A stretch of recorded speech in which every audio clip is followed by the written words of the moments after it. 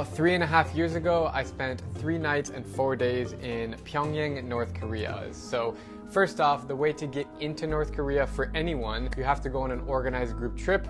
I went with a company called Koryo Tours. There are a couple other companies that take you to North Korea. But before you go, you have to attend a mandatory briefing in China Mine was in Beijing, some of them are in Shanghai or other cities, and basically they run through uh, all the do's and don'ts of what you can and cannot do in North Korea. 99% of it is the don'ts because it's very strict, um, and if you break any of the rules, you will face severe consequences. Uh, quickly, the rules are you cannot speak of the past, current, or future leaders. Uh, it's a big no no. Uh, you cannot take any pictures of construction because it looks like the country is not perfect, and you must not leave the tour group at any time. If you take any pictures of the leaders, uh, like statues or, or, pictures, they have to be in the full frame of the camera. You can't cut off their face. So I arrive in Shanghai, meet the other group members. There was, I don't know, maybe 40 or 50 people in my group. I was definitely the only American. Um, I was really nervous. This was before I had been to other intense countries. All right, we are getting ready to board our flight to Pyongyang.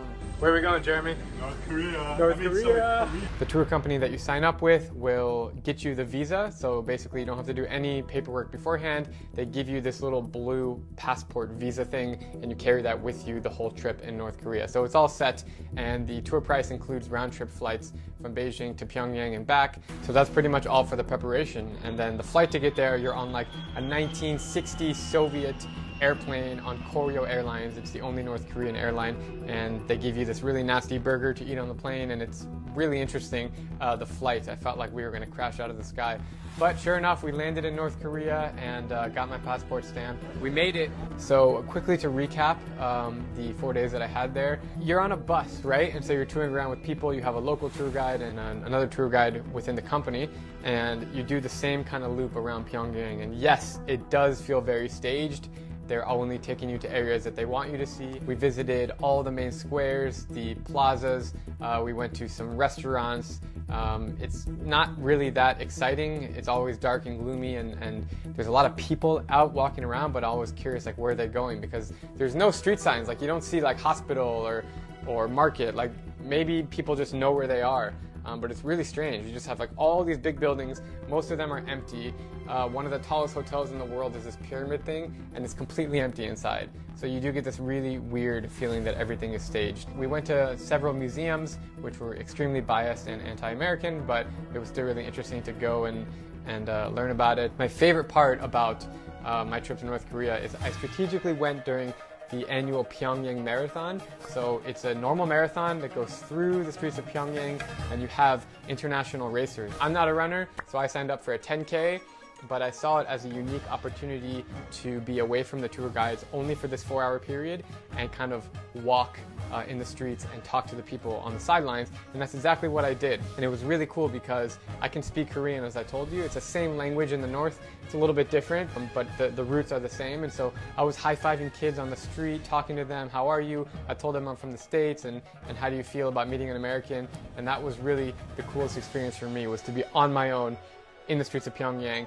talking to North Koreans. And then after the marathon, everybody was celebrating and drinking beer from vendors on the streets. So it was a very festive atmosphere and something that um, I surely didn't expect in North Korea. My other favorite experience in all of Pyongyang was taking the metro. So actually in Pyongyang, it's the deepest underground public transportation system in the world. It literally takes like three full minutes on an escalator to go from street level all the way down until you reach like these bunkers, which are, uh, I believe, Soviet-built public transportation system. And we took six or seven stops, um, and it was the coolest experience just to be completely immersed in North Korean culture with people um, living their daily lives. And yes, we got a lot of stares and everything, but that was really a memorable experience for me. And then our hotel, once you get to the hotel at night uh, around 7 p.m., they lock the doors and you are not able to leave at all for any reason. But thankfully, the hotel has really nice views, a revolving restaurant on the top, pool table, bowling alley, TVs, no internet. It was really like didn't need to go anywhere else when you got to the hotel. I al always reflect on my trip there and thinking about I was so young and naive at the time, but it was just surreal to to think about actually walking on the streets of the world's most isolated country. A few other times I was able to interact with uh, North Koreans, specifically in my hotel and in some of the other restaurants around town. Uh, you were able to talk to them one on one. Some of them even speak English because they learned in the, the universities there but overall you're mostly with the group and having this really um, surreal experience together. Nobody's really happy walking around. They look down at the ground. They don't smile that much at you. There's not that many things to do. It is very much controlled society and I just feel bad for the people there. And since I've left North Korea, I've met uh, a handful of North Korean refugees um, and I've done three or four videos on my channel if you guys have seen them before. And I really feel for them. They all have told me similar stories about how they've had to escape and how brutal the regime was and how their family uh, is in danger because they've left and how they have no intention to go back. And I really do feel bad because, you know, we all can't choose where we're born. You know, I'm very lucky and thankful that I, I, was born in the United States of America, and I feel bad for people who are just born in North Korea and they don't have a choice and they have to literally figure out a way to leave the country. So it's very sad. Obviously, there are some severe human rights issues in North Korea. I'm not going to get too into right now because um, it gets very political, but I definitely do not support them. I wanted to just um, tell this story and leave an open conversation for you guys to let me know what your thoughts are on North Korea in general. Have you ever been there before? Have you ever thought about going there? What are your thoughts about the regime? What needs to change in order for North Korea to hopefully make peace with South Korea, which would be an incredible thing if we can see that in our lifetime.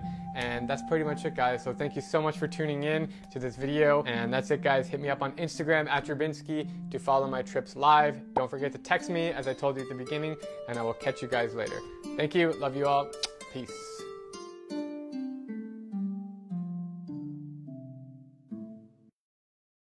I'm Drew Binsky, and if you like my travel videos, please follow this page and make sure to turn on all notifications so you can join me as I take you to every single country in the world.